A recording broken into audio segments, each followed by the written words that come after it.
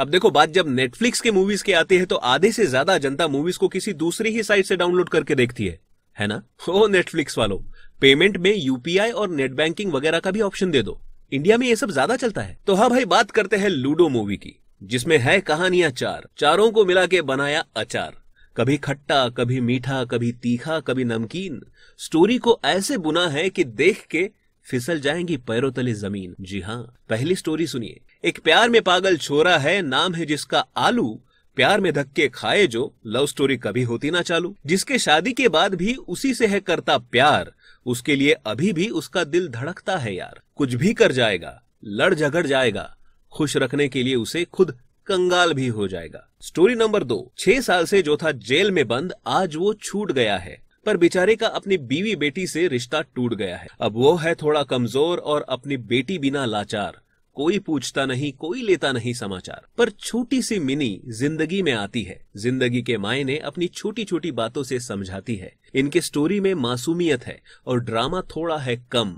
संभाल लेना खुद को, आपकी आँखें ज़रूर होगी नम। स्टोरी नंबर तीन, आकाश और श्रुति की है ये कहानी। दोनों की लाइफ एक दूसरे से अनजानी।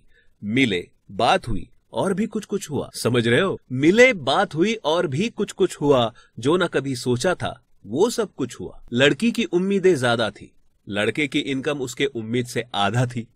कहानी थोड़ी टिपिकल सी है, पर कही तो है प्यार। दुविधा है, किसे चुने, किसका है अधिकार? और स्टोरी नंबर चार। छोटी छोटी बातों से खुश होना चाहते थे। राहुल और शिजा की है ये स्टोरी, जो लाइफ में कुछ पाना चाहते थे।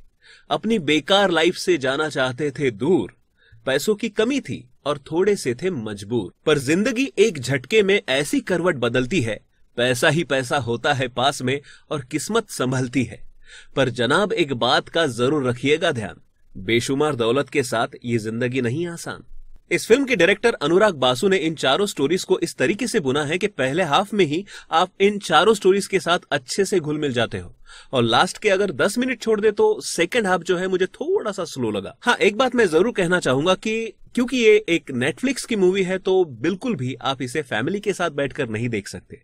गालियाँ तो है ही, पर इंटीमेट सीन ना होने के बावजूद इंटीमेट सीन्स की आवाज़ें आपको पूरी फ़िल्म में बीच बीच में सुनाई देगी।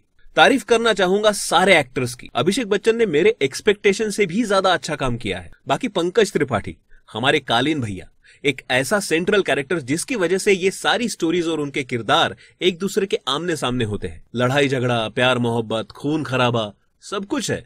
पर एक बात है, हमारे कालीन भैया अमर थे और अमर रहेंगे। चारों की स्टोरी में कौन लूडो जीतता है और किसके लूडो लगते हैं, ये तो आपको फ़िल्म देखकर ही पता चल जाएगा। मैं दूँगा इस फ़िल्म को चार स्टार एक्टिंग सभी की बहुत बढ़िया है।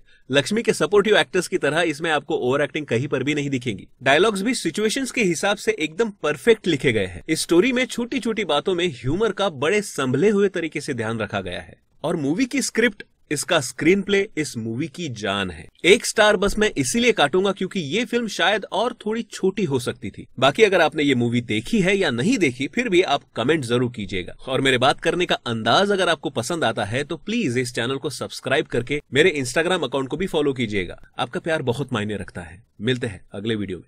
बाय